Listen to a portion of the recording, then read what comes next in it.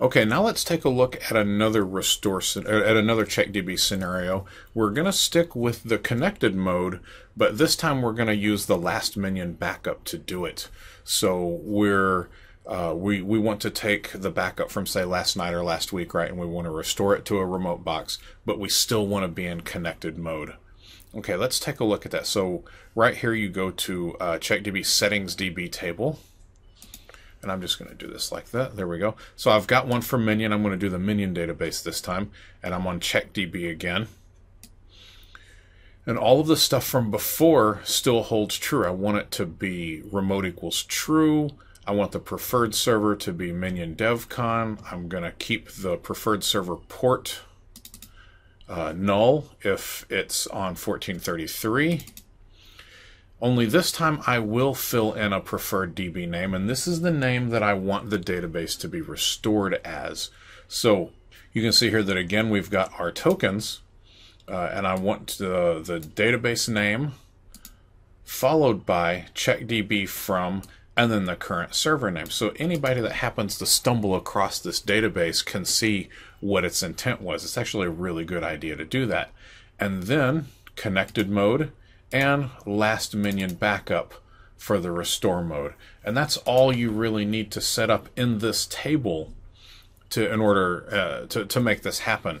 But there is one more table that you have to do something with because we're doing an actual restore, then we have to give it some restore properties. And I'm not going to go into the full discussion of the restore functionality here because right now this is a discussion on setting up the remote check DB using the restore. There's going to be another video that explains all of this restore stuff. But in brief, I've got my minion row here. That's the database I want to restore. I've got my server name here that I'm going to restore it to. I've got file type, all. Where am I going to restore the files? I'm going to restore the drive is going to be on E colon and the restore path is going to be checkdb restores. Now, this is one of those cases when the folder has to exist first. I haven't coded it in to, to create remote folders yet. So any folder you put in here has to already exist. Now, you'll notice from all of these others in here that the restore path, the restore file name, and the restore extension are all inline token aware.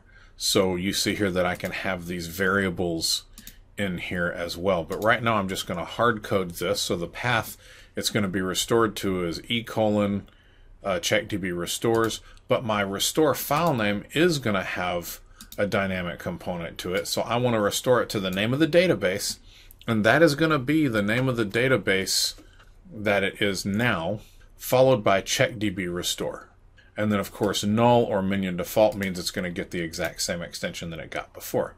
And this restore database name over here, uh, it says DB name, but this is overridden by the check DB setting. So it's it's uh, it's going to be passed directly into the into the procedure. Okay, so let's go over this again. You have to set up in settings DB. You have to set up the remote server. I mean, you have to set up the remote job. So you have to tell it to do remote. You have to tell it what server. You have to tell it what database name you want it to be restored as. And you want to tell it that it's in connected mode and that you want to use the last minion backup. We're still not to the point yet where we need a remote job because we are still on connected mode.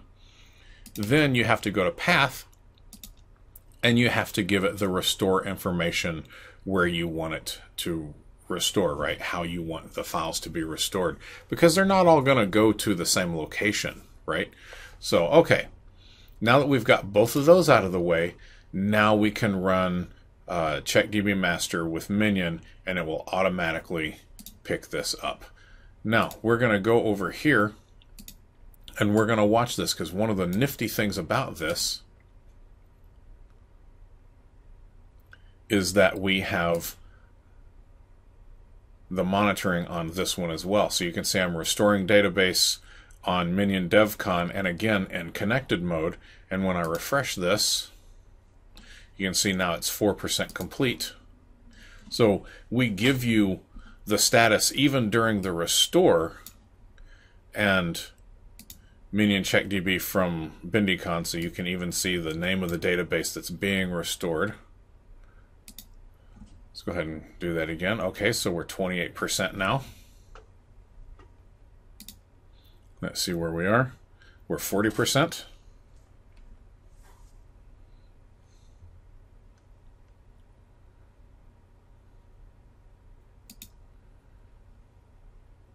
Forty-six. I'm going to go ahead and pause it and come back when that's done. Okay, now you can see this is 95% complete. And I'm going to go ahead, okay, now it's 100% complete, and we're running CheckDB.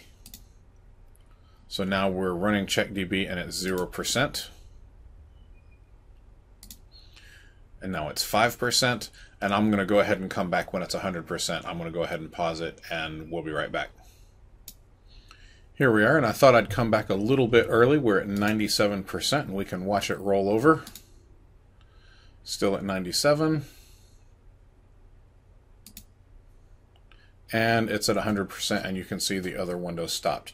So now we have a remote check DB where we restored the last minion backup to get it. So we're looking here at line one, right? So you can see the name of the database, the name of the server, remote check DB mode is connected. There's our preferred DB name and, and the and the the parameter form and so on and so on, right? So you can also come here and now remember that we didn't delete the database, right? We kept it there. So let's go ahead and refresh that. There we go. And here is that database, Minion Check DB from Bindicon, and we have our check DB. Let's come here, and I can run this guy right here. And you can see that I do have minion check DB from BindyCon with the same timestamp. So excellent. Let's go ahead and delete this database. And you shouldn't have to monitor this. You shouldn't have to manage this process, right? So let's make one small change in settings DB. Now we're going to come here and say drop remote DB and we're going to turn that on. So now we are going to drop it. We're going to run the same one again, only this time we're going to drop it afterwards and I've already dropped it so I can not a new query. So I can kick this off and we'll stick with it just long enough to watch it kick off here. It's restoring. Let's let it get a couple percentage points and then we'll there we go so it's 4% uh, I'm going to go ahead and pause this and I'll come back when the entire operation is finished and I'll show you how the database was dropped. Actually first let's do this. Let's let's see the database there first, just to prove it was there. Here we are. And you can see that it is right there, and it is restoring. Perfect. All right. Now I'm going to pause it, and I'll be right back. Okay, here we are. That's finished. You can see there's our completed run right here. We're 173. And then we haven't refreshed this yet since it was restoring. So let's go ahead and take a look at it. It should be gone. I'm going to refresh that. There we go. And you can see that that database is gone. So it took the CheckDB from this database and then it deleted the database like it like we told it to. And there you go. That is how to do a connected remote CheckDB with the last minion backup.